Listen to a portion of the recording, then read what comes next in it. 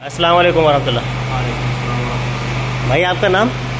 मोहम्मद अब्दुल्ला मोहम्मद अब्दुल्ला अच्छा मोहम्मद अब्दुल्ला भाई से हमारी मीटिंग हुई है ये बीएड कर रहे हैं और माशाल्लाह अपना छोटा सा स्कूल चला रहे हैं ये इनका ऑफ़िस है। ये एक क्लासरूम है और एक क्लासरूम ये है।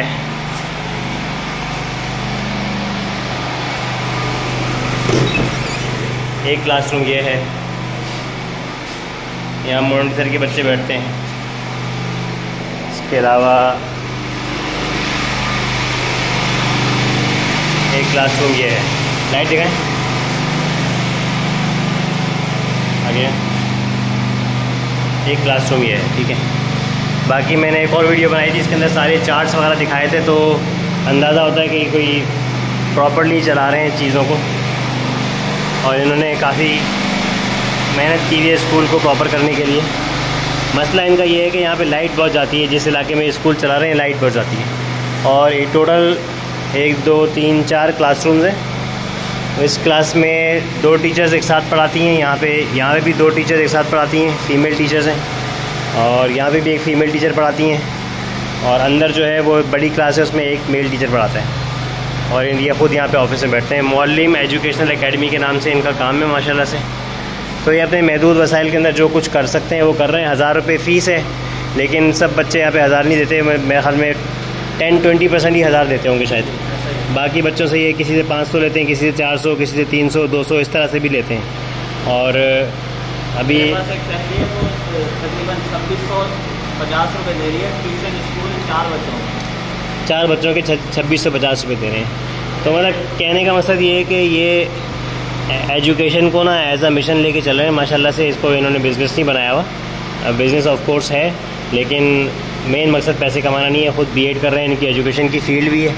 और इन्होंने माशाल्लाह से ये जो सेटअप लगाया हुआ है इसकी वजह से छः लोगों को नौकरी भी मिली हुई है। और अभी आप बता रहे थे ना वो दो बच्चे आए थे? जी जी। उनका क्या स्टोरी है? वो स्टोरी भी यही है कि बच्चे में बच्चे आपस में कज़न है वो? जी जी वो आपस में कज़न है। एक तो फ़ीस दे सकता था दूसरी नहीं दे सकता। एक बच्चा फ़ीस मैं बताता हूँ। एक बच्चा फ़ीस दे सकता था, दूसरा नहीं दे सकता था। दूसरे बच्चे को इन्होंने कहा कि तुम यहाँ पे सफ़ाई करो और यहाँ पे कैंटीन लगा लो मेरे स्कूल के अंदर और हज़ार रुपये अपनी जेब से दे दिए कि तुम सामान ले आओ अपना काम भी स्टार्ट करो और फिर शाम में इसको ये ट्यूशन भी पढ़ा रहे हैं। तो माशाल्लाह से इनकी इनसे मीटिंग मेरी अच्छी रही। अब इनका एक सबसे बड़ा मसला लाइट का मसला है, उसको सॉल्व करने के लिए हमने अंदाज़ा लगाया कि सात पंखे चाहिए और सात पंखों के लिए जो है ना, वो कम अज़ कम चार सोलर प्लेट्स लगानी पड़ेंगी। ये जगह इनकी किराए की है चौबीस हज़ार रुपये यहाँ का किराया है और छः टीचर्स हैं उनकी तनख्वाहें हैं। तो बहरहाल जिस तरीके से भी ये मैनेज कर रहे हैं अपना चला रहे हैं अलहमदिल्ला लेकिन इतना नहीं बचता कि ये एक्स्ट्रा ख़र्चे भी करवा पाएँ। जिस मिसाल के तौर पे इनका फ़र्नीचर देखें ये फ़र्नीचर पुराना वाला फ़र्नीचर है। अब ये आ, ये छोटा मोटा रिपेयर तो खैर ये करवा लेते हैं लेकिन थोड़ा टाइम की मसले की वजह से नहीं करवा पाए। बाकी और भी फर्नीचर है यहाँ पे जो से थोड़ा ख़राब है इसको रिपेयर इन लोगों ने कर, इन्होंने करवाना है। तो ये तो छोटा मसला ही तो हल इंशाल्लाह हो जाएगा, ख़ुद भी कर लेंगे। लेकिन असल मसला जो है ना, इनका ये है कि इधर लाइट बहुत जाती है तो लाइट का मसला हल हो जाए। तो जो भी इसको अच्छा मैंने इनसे बात, डील इनसे ये की है कि सुबह के टाइम में इनके सौ बच्चे पढ़ रहे होते हैं, शाम के टाइम में मेरे सौ बच्चे पढ़ेंगे, जो कि फ्री में पढ़ेंगे। इन उससे हमारे, उसके बारे में हमारी इनसे डील हो चुकी है। और जो भी मोहल्ले में ऐसे बच्चे हैं जो कि अफोर्ड नहीं कर सकते तो शाम की टाइमिंग में वो दो से लेके पाँच बजे तक। ठीक है ना? तो दो से पाँच बजे तक ये बच्चों को पढ़ाएँगे हमारे उसके लिए हम इनको पैसे देंगे पर बच्चा हमने इनसे एक डील कर ली है। लेकिन लाइट का मसले से ये अगर हल हो जाता है इनका तो कितने बच्चों को फ़ायदा होगा और भाई? सुबह के सौ बच्चों को फ़ायदा होगा सौ बच्चे हमारे दो सौ बच्चों को फ़ायदा हो गया। और शाम में ट्यूशन में कितने आते हैं? इतने ही आते हैं। जो बच्चे यहाँ पर पढ़ते हैं वो ट्यूशन में ही पढ़ते हैं। अच्छा तो शाम अगर फ़ीस होगी तो बिल्ला भाई साथ थोड़ा सा कोऑपरेट कर लेते हैं। ठीक है तो आप ये समझें कि तीन शिफ्टों के अंदर सौ सौ बच्चों को फ़ायदा हो जाएगा इस पूरे सोलर सेटअप से। तो ये बहुत बड़ा सदका जारी है। ऐसे इलाके में जहाँ पे दूर दूर तक कोई स्कूल नज़र नहीं आता ये पूरा इलाका मैं आप लोगों को अपने राशन सर्विस के अंदर दिखा चुका हूँ। फजलाबाद बिलालाबाद खलीलाबाद। और यहाँ बहुत बड़ी आबादी है सारे मज़दूर तबका यहाँ पे रहता है। डेली वेजेस वाले लोग रहते हैं। हमने राशन का बड़ा एक्सटेंसिव काम यहाँ पे किया हुआ है। लेकिन यहाँ पे अभी तक जो है ना, वो मेरी और बाबर भाई की पूरी कोशिश के बावजूद जो है ना वो, या कह सकते हैं, हमने इतनी ज़्यादा कोशिश नहीं की, लेकिन अभी तक स्कूल का सेटअप हमारा नहीं हो पाया था। अब ये हमको एक ऐसा इदारा मिल गया है कि लोग भी अच्छे हैं, इनको अगर हम सपोर्ट करते हैं तो हमारे बच्चे भी इसी सेटअप में पढ़ लेंगे। और जो किराया इनका जा रहा है, समझें वो इनकी शेयरिंग हो जाएगी। और जो टीचर्स इन्होंने रखे हुए हैं तो इन्होंने बात मुझे बोली है कि मैं उन टीचर्स को शाम को नहीं बुलाऊँगा, क्योंकि वो थक चुके होते हैं, वो बच्चों को उतनी एनर्जी के साथ नहीं पढ़ा पाएँगे। तो शाम को अलग टीचर्स रखेंगे, इसका मतलब ये है कि मज़ीद पाँच से छः टीचर मज़ीद तीन चार टीचर्स को नौकरी इंशाल्लाह मिल जाएगी। तो बहुत सारे फ़ायदे हो रहे हैं इस सेटअप के अंदर। मतलब बच्चों का फ़ायदा भी हो रहा है, और कुछ लोगों की जॉब भी लग रही है। और ये जगह भी पूरी तरह यूटिलाइज हो रही है। यहाँ पे दरअसल ये पूरी कच्ची आबादी है और यहाँ पे जो है तकरीबन जो स्कूल हमारे नीचे के स्कूल है ना वहाँ पे ढाई ढाई तीन तीन हज़ार रुपये फ़ीस है। अच्छा। और गवर्नमेंट स्कूल में जाते हैं तो एडमिशन मिलता नहीं है। तो फिर वो ये क्या अच्छा यहाँ पीछे एक और फ्री स्कूल है ना वहाँ पे आप बता रहे हैं कि एडमिशन ख़त्म हो चुके हैं। मेरे दुकान के बराबर बिल्कुल स्कूल है। हाँ। फ्री स्कूल है। अच्छा। किताबें पेंसिलें वगैरह सब मिलते हैं मगर वहाँ पे यूनिफॉर्म पहन के यूनिफॉर्म पहन के जाते हैं पता नहीं है उसको मुझे कंफर्म नहीं है। मगर वहाँ पे एडमिशन बंद है। जो बच्चों ने एडमिशन ले लिया वही पढ़ रहे एक घर के चार बच्चे हैं वो पढ़ना चाह रहे हैं मगर घर के दो बच्चे जा रहे हैं। क्योंकि लेडीज़ हमारे पास सामान वगैरह लेने आती है तो उनकी पूरी डिटेल बताती है हमने ये मसला मतलब आपका क्या ख्याल है हमने अगर इनसे सौ बच्चों की डील की तो ये सौ बच्चे तो मेरे ख्याल में दो हफ़्ते के अंदर ही पूरे हो जाएँगे। इंशाल्लाह मैं बड़ी बात नहीं करता अगर मैं यहाँ फ्री बैनर लगा दूँ ना तो मेरे को सौ के ऐसे फिर तीन चार स्कूल खोलने पड़ेंगे। क्योंकि ये इतनी ज़्यादा ज़रूरत है स्कूल की और ज़्यादातर जो है ना लोग सब दिहाड़ी वाले लोग हैं।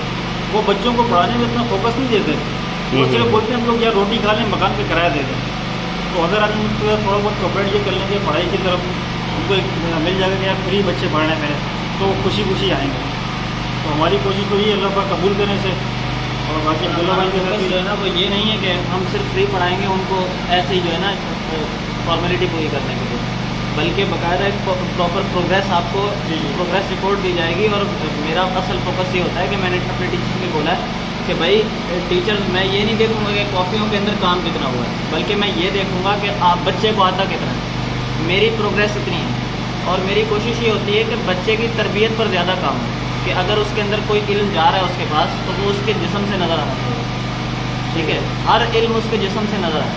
और अल्हम्दुलिल्लाह, मेरे पास जो टीचर्स पढ़ा रहे हैं, वो बाकी स्कूलों में भी पढ़ा रहे हैं। ठीक है? मेरे पास सरमाज हैं, वो एक वक्त में दो स्कूलों में पढ़ा रहे हैं। दोपहर के शिफ्ट में भी, सुबह की शिफ्ट में भी।